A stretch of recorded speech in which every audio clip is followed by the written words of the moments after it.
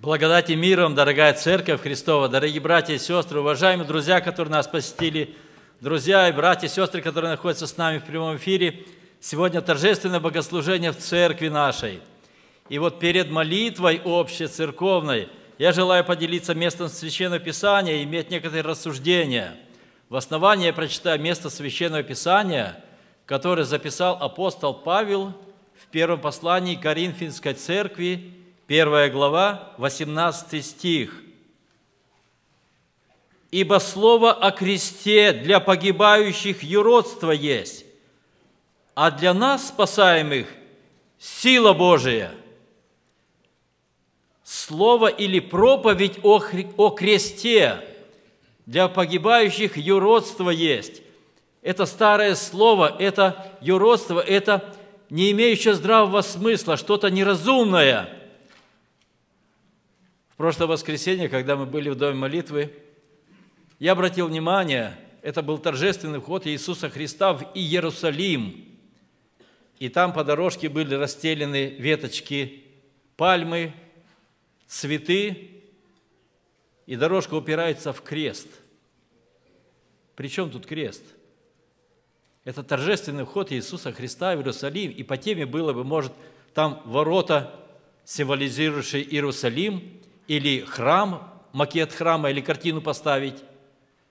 Здесь был цветок, пальмы, розы и сухие веточки с такими страшенными иголками. Не эстетично. А для нас, спасаемых, проповедь о кресте, сила Божия – когда Христос входил в Иерусалим, Он видел народ, который ликовал и славил Бога за посланного царя. Он видел город, он видел народ в нем, которого он любил, и он плакал о народе. Но он видел, он Бог, он имеет сущность предвидеть. Мы этого не можем, люди – он видел Голгофу. Он видел на ней крест. Христос не, плакал о кресте, о его страданиях мученических. Он плакал о народе, которого любил. Он знал, что пройдет пять дней, и люди, которые торжествовали, ликовали, они возьмут терновые веточки и сплетут аккуратно, чтобы руки не поранить, венец из терна с ужасными колючками, от которых глазу больно, и положит Иисусу в знак признательности венец этот на голову. И потом, чтобы не пораниться, будут бить палкой. А потом приведут на Голгофу, и там его обезображенного, наипаче всех человеков, пригвоздят – и подымут этот крест, и будут глумиться. Это в ответ на любовь Сына Божьего. И Он там умер в мученических. Даже природа возмутилась. Написано слово говорит нам, тьма была на земле от часа шестого до часа девятого среди дня. Тьма была. И когда Христос возопил, «Боже мой, Боже мой, для чего Ты меня оставил?» И сказал, совершилось, и спустил дух. Тогда земля потряслась, гробы отверзлись, а мертвые воскресли. Это было сверхъестественное явление. И люди, которые глумились над Христом, они бежали, бия себя в грудь и говорили, мы Сына Божьего распяли. И сотник говорит, воистину Он был Сын Божий. И один воин пронзил копьем ребро, и из ребра Христа истекла кровь и вода. Свидетельство – это была полная смерть. Иисуса сняли и погребли в гробе. По законам Востока обвили плащаницею, помазали его миром и положили в гробницу, привалили камнем большим – И следующий день после субботы, день воскресный, рано утром женщины пошли, чтобы по законам Востока помазать тело умершего Иисуса. И у них одна была задача, кто нам отвалит этот большой камень, чтобы нам войти туда. Когда подошли, камня на месте нет, он в стороне валяется, и оттуда свет сияет. Они подошли, и Слово нам говорит, ангел, обратив речь к ним, сказал, «Не бойтесь, ибо знаю, что вы ищете Иисуса распятого.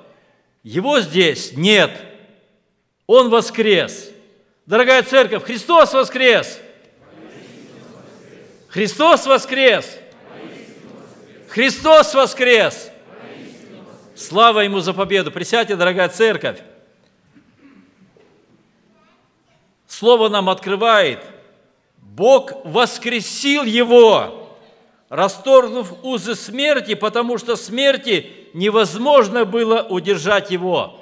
Он воскрес – потому что Он Бог. Но Бог умереть не может. Бог обладает свойством, качеством, Он бессмертен. Бог не имеет начала, не имеет конца, Он вечный, предвечный. Он источник жизни, дающий всем жизнь, и имеет в себе бессмертие – Наверное, вот ответ. А почему так Бог пришел во плоти? Апостол Павел, обращаясь к Тимофею, говорит, и беспрекословно великое благочестие тайна. Бог явился во плоти. Бог, Сын, принял человеческую плоть, чтобы умереть, чтобы стать заместительной жертвой – за грех всего мира. И написано в книге Библии, которую мы почитаем, это книга от Бога. Ее писали пророки, которым говорил Бог Дух Святой. И написано, что Бог, Отец, возложил на Иисуса грехи всех нас. Вот почему Бог отвернулся, и тьма была – от Иисуса, потому что на нем были грехи. Но под этой грудой грязных грехов билось чистое непорочное сердце, которое в жизни своей за 33 года даже не помыслил греха, не соделал греховному. И поэтому впервые за всю историю на кресте Голговском был нарушен закон. Возмездие за грех – смерть. Христос не имел греха.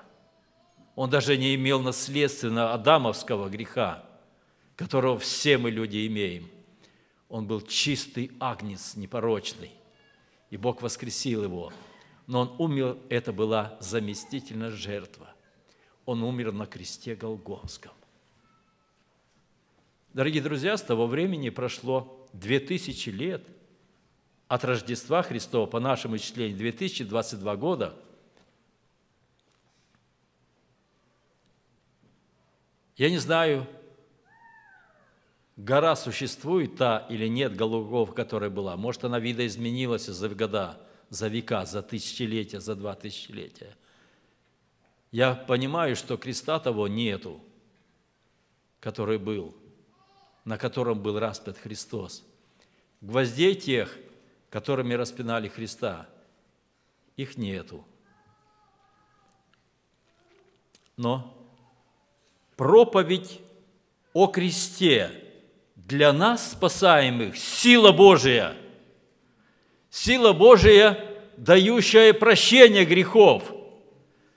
Я никогда не был в Израиле. Я не был в Палестине. Я не видел гору Голгофу. Но у креста Голговского я был – в юности моей, когда я слышал слово о Христе, я понимал, что я имею грех наследственный адамовской природы. Я понимал, что я в жизни своей, я не убил никого, не ограбил, но я согрешал пред Богом святым и праведным. И я понимал, что на кресте Голговском была жертва за грех всего человечества и за грех мой. И прекрасное качество дал Господь каждому человеку – это вера. Вера, она рождается от слышания Слова Божия. Это чудный дар от Бога. И эта вера привела меня в состояние греховности. Я в молитве покаяния просил у Бога прощения.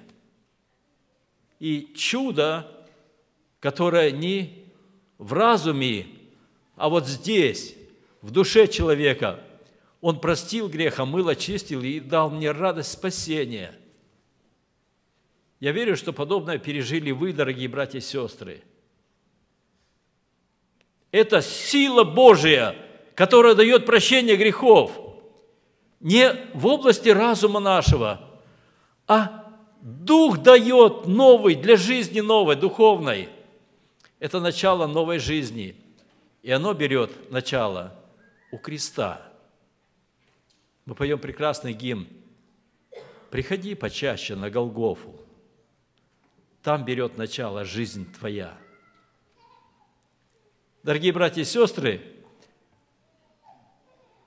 вот оно, смысл здравый, что во всем мы видим. И если бы наша проповедь была о Иисусе Христе, как о хорошем человеке, как о прекрасном учителе народа израильского – который оставил учение, который оставил добрый пример праведной жизни, он бы был подобен тем пророкам многим, которых Бог посылал, которые приносили Слово. И мы таких последователей знаем много очень. Но единственный за всю историю человечества, жизни на земле, единственный, который оставил учение, оставил добрый пример подражания – умер заместительной жертвой и воскрес из мертвых. Единственный Иисус Христос, у которого нет гробницы, у которого есть единственный памятник – это крест. Поэтому апостол Павел ниже говорит, а мы проповедуем Христа распятого. Мы проповедуем Христа распятого на кресте Голговском, умершего и воскресшего – который воскрес силою Божию и отнял силы у имеющего державу у сатаны. И ныне Слово говорит, в руках Иисуса Христа ключи ада и смерти. Он победитель. Дорогие братья и сестры, Он дает не только победу над грехом, прощая грехи, делая нас, Он дает нам победу над силами зла – вы помните, когда Иисус Христос выходил на служение в 30-летнем возрасте, дьявол к нему приступил после крещения, когда был с неба голос, и слышали, «Это Сын мой возлюбленный, в котором мое благоволение». И после этого дьявол приступил к нему и искушал его, сталкивал его к греху, чтобы он признал силу дьявола, но не силу Божью – а вы помните, после воскресения Иисуса Христа дьявол вновь приходил к нему, искушая. Я не помню такого. Такого не было. После воскресения Иисуса Христа Христос имеет победу, и дьявол убежал. Он никогда не приближался и не приблизится к Богу, потому что Иисус Христос единственный одержал победу, а дьявол опозорен. Дорогие братья и сестры, Радость наша в том, когда мы проповедуем Христа распятого, что своей победой Он дает и нам эту силу отражать силы дьявола и восставать против него. Наверное, многие столкнулись с людьми, которые имеют одержимость сил дьявольских. Единственная защита ограда, которая не может он перейти, это кровь Иисуса Христа – это победа Иисуса Христа на кресте Голговском. Это победа в нас Духом Святым. Поэтому дети Божии, они ограду имеют, защиту имеют и власть имеют противостоять. Это великая победа, которую нам дал. И она в проповеди Иисуса Христа, распятого на кресте Голговском.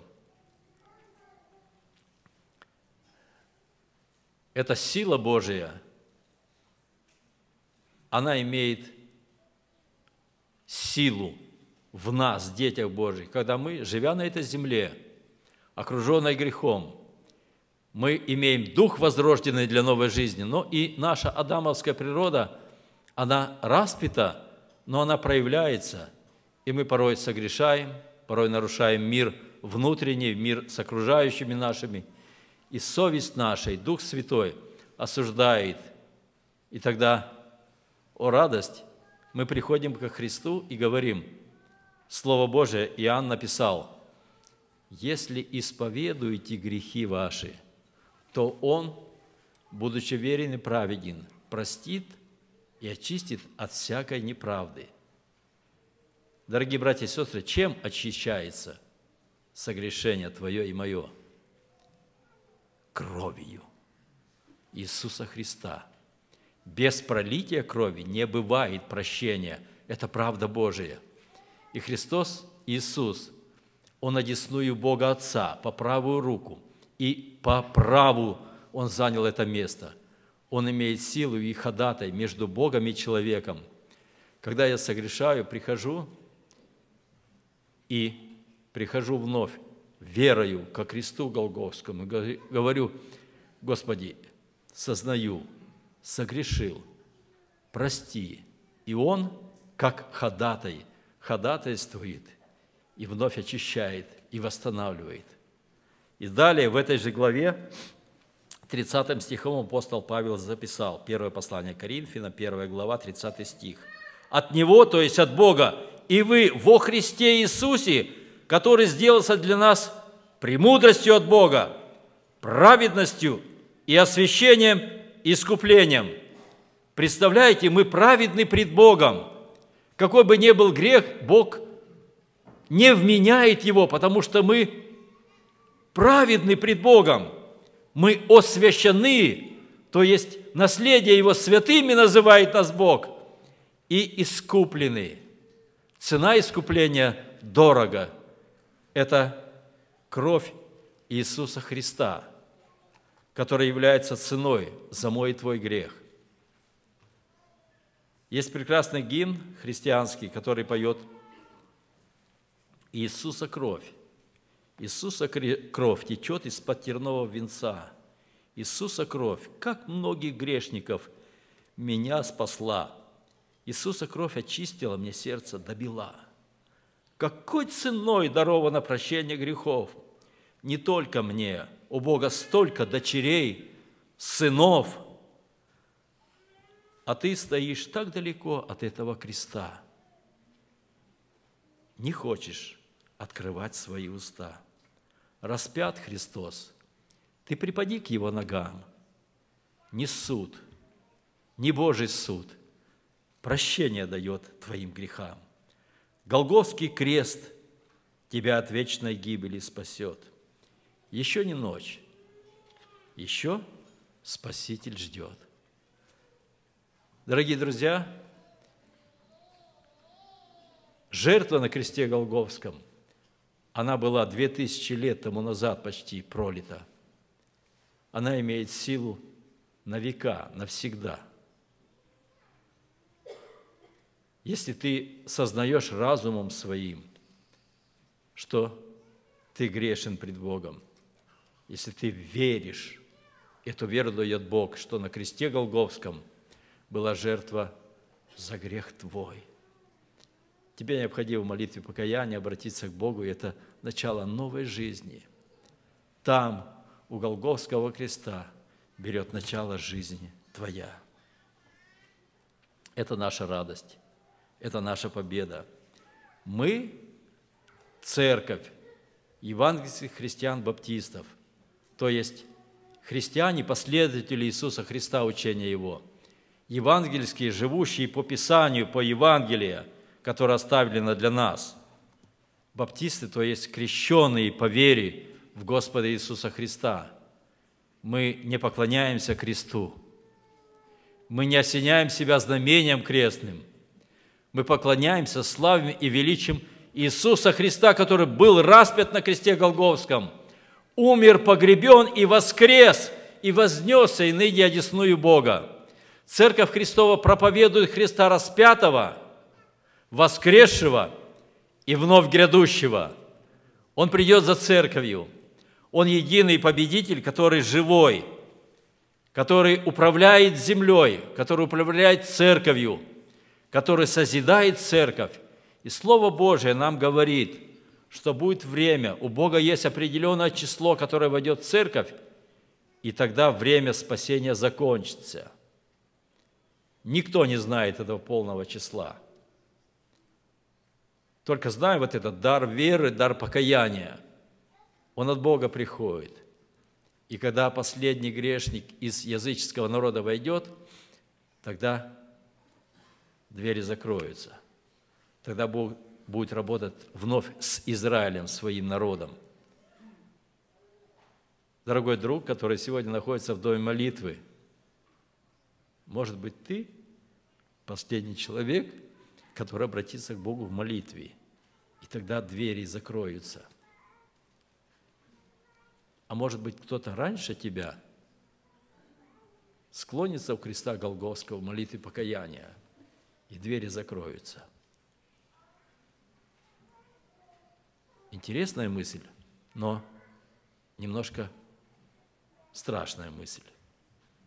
Пусть Господь благословит, и если во время богослужения в твоем сердце будет Господь работать Духом Святым, противостань дьяволу и обратись в молитве. Это будет началом новой жизни. Дети Божии, Церковь Христова – они поклоняются и прославляют Бога единственного, который был мертв и все жив во веки веков. Апостол Иоанн – это самый молодой ученик, который, дожив до старости, который видел распятие Иисуса Христа, который видел Его смерть, который видел, как Его положили во гроб, который видел, что гроб пустой, и который являлся ученикам и разговаривал с ними, и они осязали его, трогали, видели раны на нем. Вы знаете, что в вечности распятый Христос будет иметь знаки отличия от всех. Иоанн в старости, который увидел откровение, будущность, он увидел сидящего на престоле, и вокруг него 24 престола и старцев, и четыре животных. И между старцами и животными агнец, как бы закланный. О чем это говорит? В вечности, в новой жизни, когда будет новая земля и новое небо, Иисус Христос будет отличен от всех, и Его подвиг на кресте Голговском будет сопровождать всю вечность, и ему будет возноситься слава. Иоанн, когда увидел это, это записано в пятой главе книги Откровения, последняя книга книги Библии. «И я увидел, видел и слышал голос многих ангелов вокруг престола, и животных, и старцев, и число их было тьма тем, и тысячи тысяч, которые говорили громким голосом – достоин Агни закланный принять силу и богатство, и премудрость, и крепость, и честь, и славу, и благословение, и всякое создание, находящееся на небе, и на земле, и под землей, и в море, и все, что в них, слышал я, говорили, сидящему на престоле и Агнцу, благословение и честь, и слава и держава в веки веков – и четыре животных говорили «Аминь». И двадцать четыре старца пали и поклонились живущему во веки веков.